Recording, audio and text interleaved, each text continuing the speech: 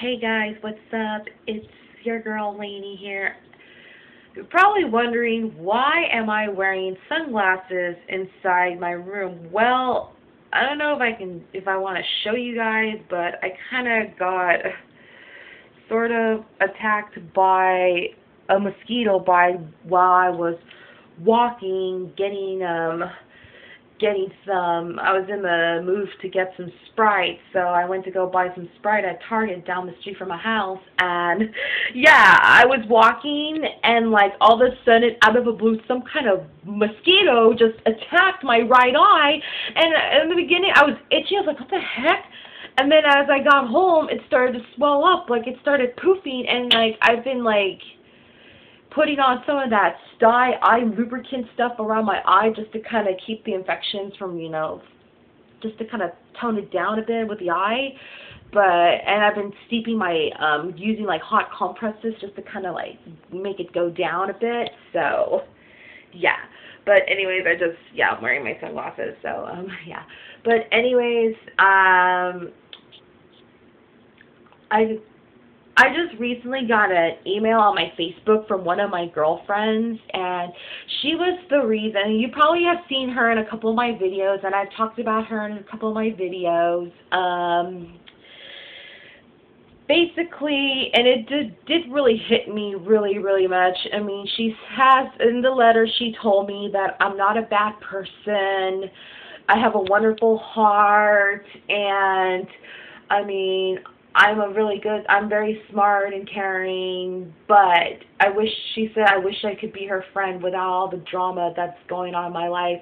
And the reason why we've, I've had this chaotic friendship with her, it's not her, it's basically me. And with me, because I lately I've been mentally unstable, you know, with all these chain reaction of events going on with me, especially the breakup with my last boyfriend and um, you know, trying to get through school and trying to get on this Medi-Cal thing. Everything's just like, whoa, I'm trying to take it one day at a time. Um it's like I kind of brought my chaotic craziness into her life and it is true. I am very much a very, very, I'm much of a handful to be around with. I mean, I do have friends, but I don't have very much, and sometimes I don't like to get too close to them or too attached to them easy because I'm afraid of putting them in danger. I'm afraid of, like, you know, hurting them. I don't, I don't want them to see the crazy, you know, manic and depressive stages I go through, you know, being the fact, you know, you're bipolar,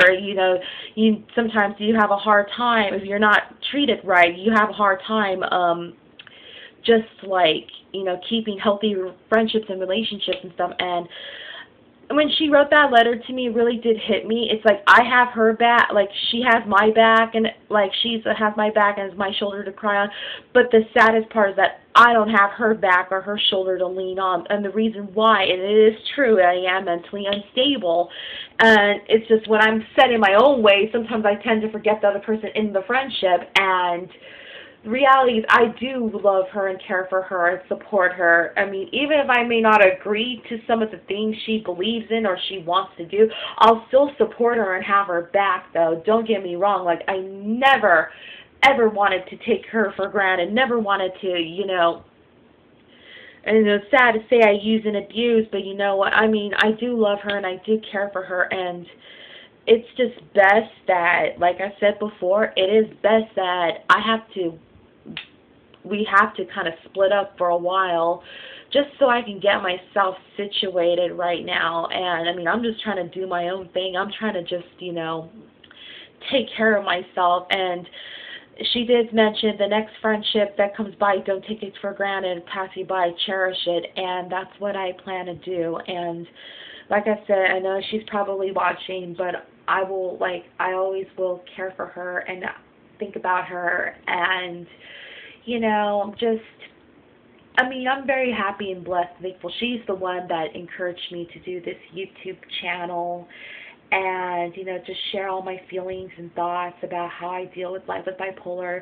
And not just with bipolar but I also like to goof off. I like to do some singing you know just to kind of you know lighten up my lighten up this channel a bit you know because I'm not always serious. Sometimes I do like to have fun too. So just to show you guys the other you know the humorous side or the talented side of me. So anyways I just wanted to point that out and um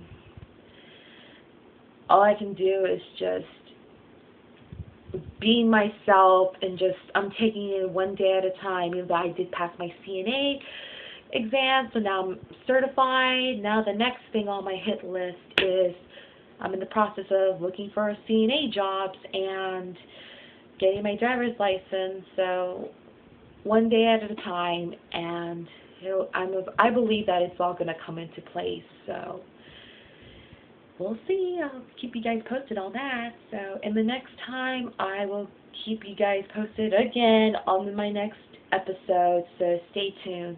Bye.